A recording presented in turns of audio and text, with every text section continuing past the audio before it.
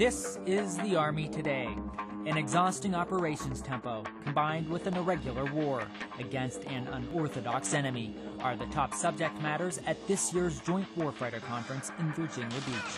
Gail McCabe has this report. We do talk about capability.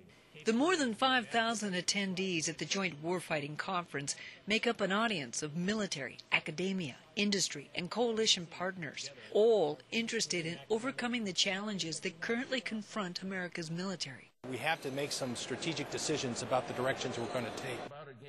Because the enemy is agile, adaptive, and not to be taken lightly.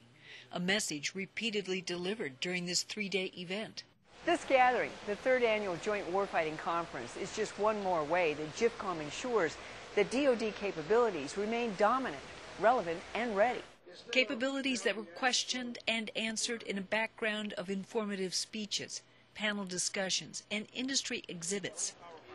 Opportunities designed to stimulate feedback. The, the opportunity for, for those of us in uniform to interact with industry is invaluable.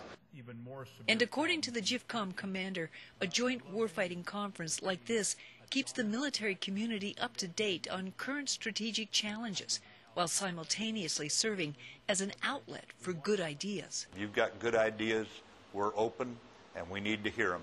A need, according to JFCOM, that applies across the board as DoD looks to ensure America's military remains dominant, relevant, and ready.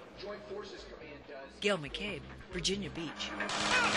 That's the Army today from the Soldiers Media Center in Washington. For more soldier stories, log on to army.mil.